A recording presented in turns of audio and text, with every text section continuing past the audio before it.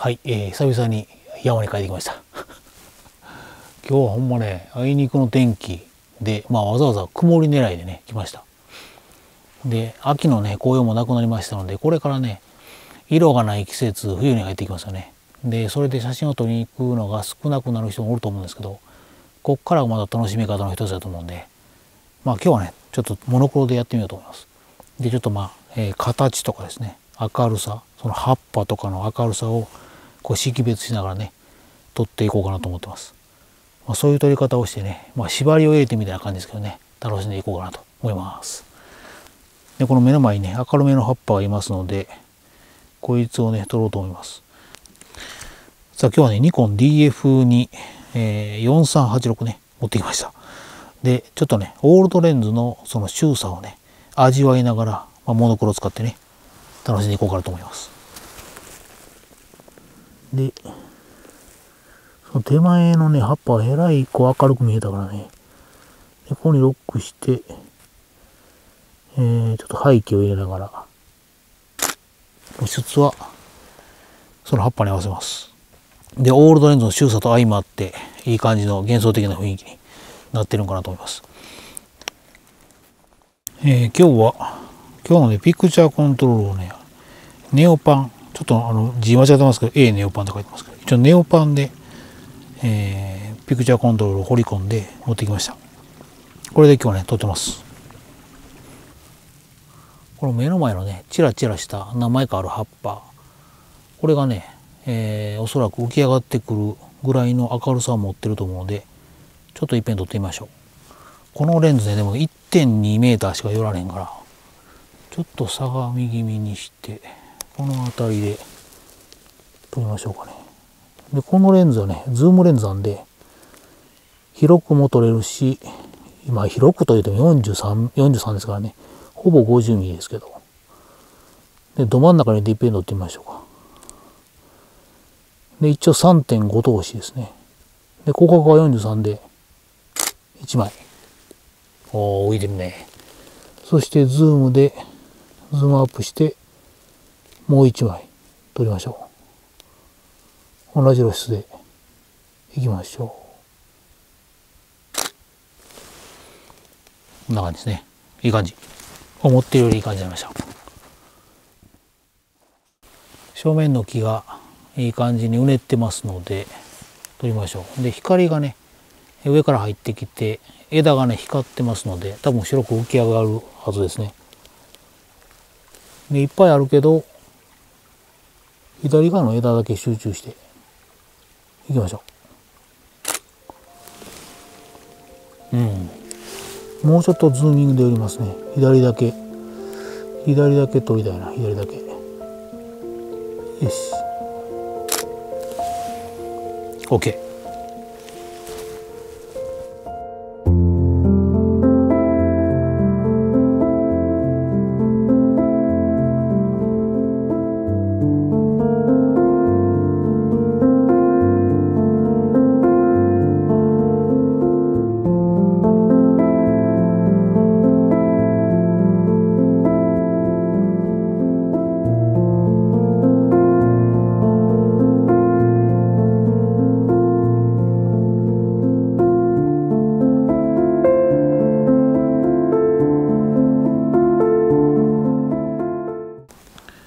今回このニコン DF にね4386つけてきてますけどやっぱレンズがね周差がすごい激しいレンズでまあ古いレンズなんですよねでまあこの時はこの技術が限界って、まあ、最新技術だって作られたんですけどその周差が最近はねちょっとこう色気というか、まあ、個性みたいな感じにしてきてね、まあ、それは多分ライカのレンズを使いやすからと思うんですけど、まあ、最近のレンズってあまりにも映りすぎてなんか映って当然のような感じがするんですよねで見比べてもなんか違いがよく分からへんのですね私は。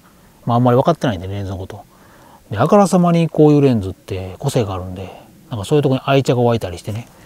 で、結局ね、持ってますね。いろんな機材とか引っかしましたけど、こういうのはね、こういう玉ってのはなんかしたけど残っていってますね。ちょっと遠いけど、えー、正面のね、まあどちらかというと細い枝がね、まっすぐ、えー、左に向けて伸びてるんやけど、あれがすごいね、光ってるんですよ。なんかデジカメ的にはあ分かりにくいと思うけどあれをね取ってみようかなと。縦で抜こうかな。すごいいい感じじゃないですよね。あれだけ浮いてるように見えるから。ねちょっとズームした方がいいね。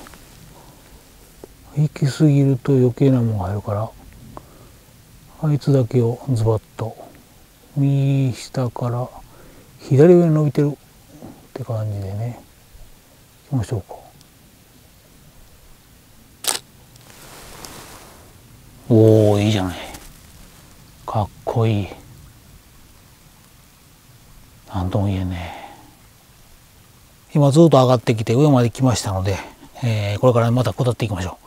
距離にしたらね 300m400m ぐらい。そんなにね距離歩いてないんやけどあのねあんまり最近思ったんやけど幅を広げてねエリア広げてしまうと目移りするしね見落とすことが多いんで特にスナップでなんか面白いもんで探す時はエリアを狭くしてね楽しんだ方がいいかなっていうのは最近気づきましたねほんで街に行くとねやっぱエリアが広がるんで あの駅一駅分とかね二駅分とかするともうほんまにね目移り目移りするというかね見落とすことが多いですねじっくり見られへんのでモノクロ特にこうじっくり探す時はエリアをねほんま 100m とか 200m ぐらいの範囲内で、えー、こう視点を変えてね見てみるっていうのがおもろいかなと思いますね。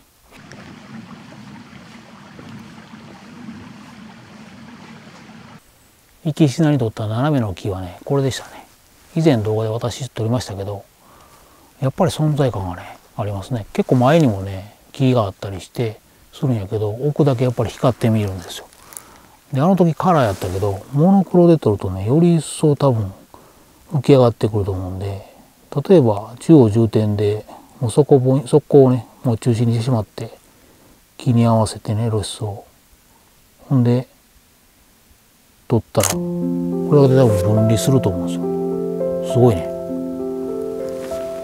何とも言えんなここはほんまに。前に落ちてる枝がね、まあ、川で流れてきたいと思うんですけどサルスベリみたいな感じでねツルツルなんですよ。でなんか骨みたいに転がってるから何とも言えんような感じでね。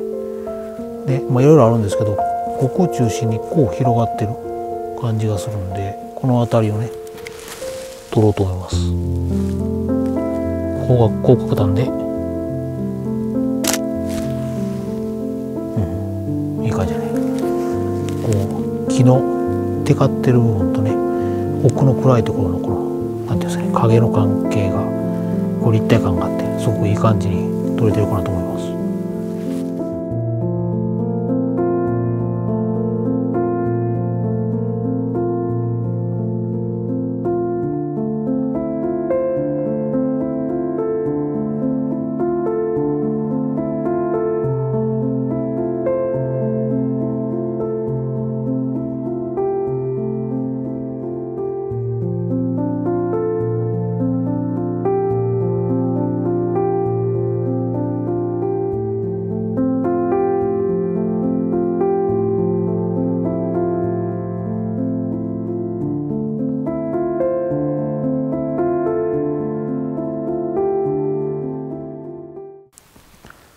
今日はね XF10 のね実践投入ですね。前は街中でちょっと世話しなかったですけど、まあ、いつものホームランドに来てみてね撮ってみてます。どんな感じかな。これね手ぶれ補正を切ってるんですよ。手ぶれ補正入れてたらなんかこうね歪むでしょ。うにょうにょうにょうにょだからあれは切ってみてで歩いてるんでちょっとこう歩くたびにガコンガコンってなるかもしれませんけどね。